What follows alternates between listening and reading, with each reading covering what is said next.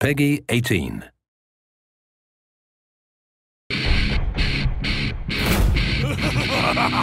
It's that time again, faithful adventurers. A new Vault Hunter has appeared on Pandora.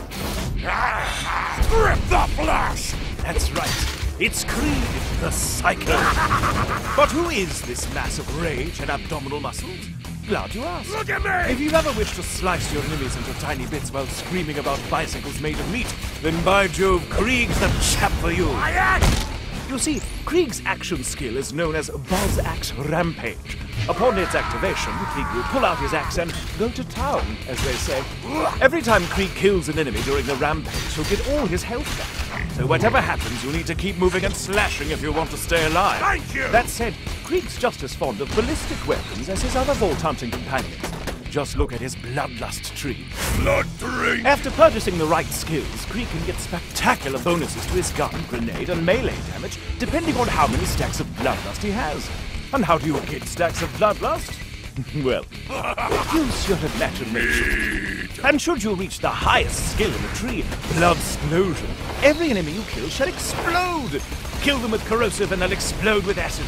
Kill them with electricity and they'll pop like a lightning-shaped blister. Kill them with fire and...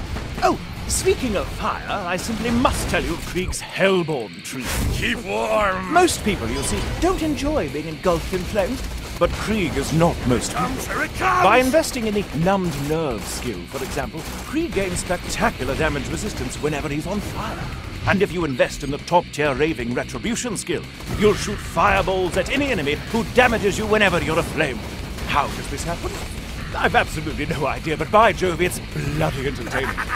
if you're not already chomping at the bit to set the entire planet ablaze, I must still talk about one last thing Krieg's Mania Tree. You can't stop me! By purchasing skills like Feed the Meat or Embrace the Pain, Krieg gets vastly more powerful when his shields are down.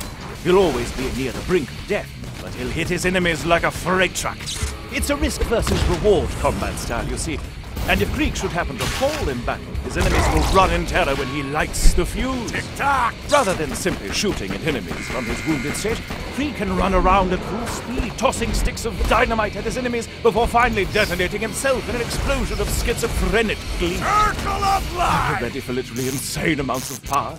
Are you prepared for the confused terror of your friends and foes alike? Are you ready for Krieg? Get out! Get out! Then get out there and slice open some jugulars. Oh dear.